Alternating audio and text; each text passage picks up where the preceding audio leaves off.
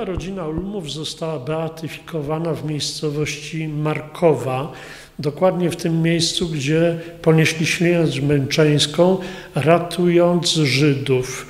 Y, I po tej uroczystości episkopat polski zdecydował, że te relikwie rodziny Ulmów rozpoczną peregrynację, czyli taką wędrówkę po całej Polsce, gdzie w różnych kościołach, w różnych diecezjach wierni będą mogli oddać cześć relikwiom, ale co więcej, zaznajomić się w ogóle z tą błogosławioną rodziną no i z tym wszystkim, co ona niesie, bo ona niesie niesamowite przesłanie, niesamowite wartości.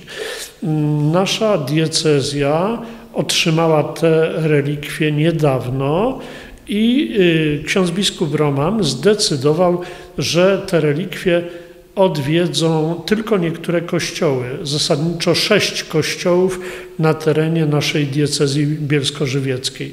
W Bielsku to jest osiedle y, karpackie, y, parafia Chrystusa Odkupiciela Człowieka, następnie parafia w Oświęcimiu, ale już wiemy, że też te relikwie zagościły w klasztorze sióstr karmelitanek, które modlą się w pobliżu obozu oświęcimskiego za wszystkich pomordowanych i o pokój na świecie.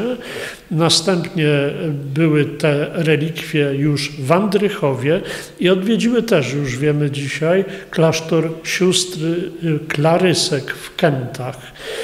No, przed nami peregrinacja właśnie w naszym kościele, także jutro w Ustroniu, w parafii świętego Klemensa i ostatni etap to będzie taki ciekawy etap konkatedra w Żywcu do południa, a po południu ostatnie nabożeństwo fatimskie w Rychwałdzie, w sanktuarium Królowej Żywiecczyzny. No i później już te relikwie udadzą się do innej diecezji, czyli szczególny czas odwiedzin, modlitwy i, i takiego zamyślenia nad tym wszystkim, co niesie nam właśnie beatyfikacja i cała w ogóle postawa rodziny Ulm. Tutaj w kościele świętej Marii Magdaleny mają się zgromadzić wierni i kapłani z czterech dekanatów: cieszyńskiego, goleszowskiego, strumieńskiego i skoczowskiego. O 17 przywitaliśmy te relikwie uroczyście w drzwiach kościoła. Zostały one przekazane y, w taki sposób, że obraz rodziny Ulmów, który wraz z tymi relikwiami peregrynuje, y, zabrała do kościoła y, młoda rodzina, małżeństwo Cieszynian w strojach cieszyńskich.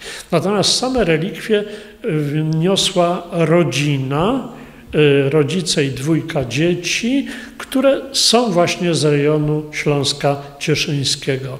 Y, relikwie zostały przekazane rodzinie, bo to y, ta peregrinacja to też jest, można powiedzieć, święto rodziny. Teraz właśnie o godzinie 17.15 rozpoczyna się modlitwa różańcowa. W czasie tego różańca będziemy rozważać nie tylko e, życie ulmów, ale też, no właśnie, to, czym się powinny kierować współczesne rodziny, co jest ich wartością, co jest im skarbem. W tym różańcu uczestniczy ksiądz biskup Piotr Greger, który będzie przewodniczył Eucharystii o godzinie 18 i wygłosi również Słowo Boże. Y, następnie po tej Eucharystii rozpoczyna się czuwanie. To czuwanie będzie miało kilka elementów.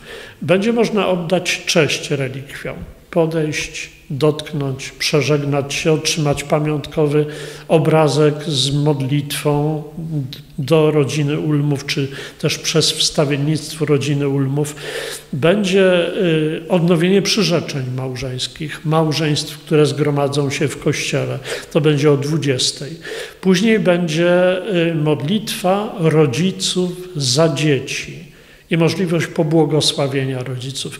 Zanika w naszych domach powoli ten taki bardzo ciekawy obraz staropolski, że rodzice błogosławili swoje dzieci. Chcemy to dzisiaj odnowić w kościele.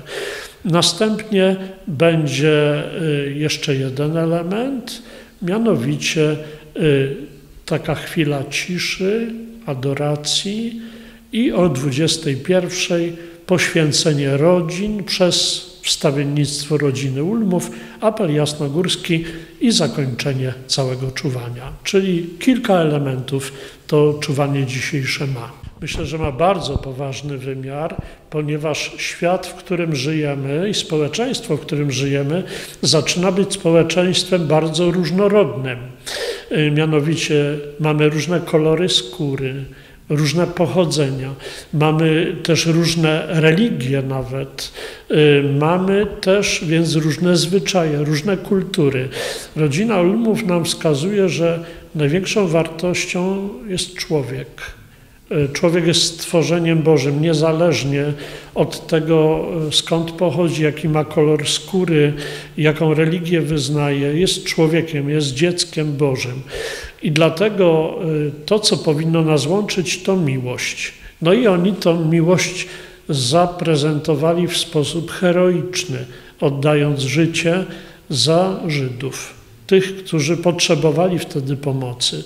No i wszyscy zginęli, ale świadectwo ich jest żywe, bo żyją przez to pośród nas. Myślę, że y, taka opowieść o rodzinie Ulmów i o tym, co zrobili, już krążyła, przynajmniej w społeczeństwie polskim, od momentu, kiedy uznano ich za kandydatów na ołtarze. Y, także i społeczność międzynarodowa wtedy się o tym dowiedziała. Natomiast myślę, że beatyfikacja i ta peregrynacja też przyczyni się do tego, że y, to świadectwo ich życia, a także tej męczeńskiej śmierci stanie się powszechnie znane w całym Kościele.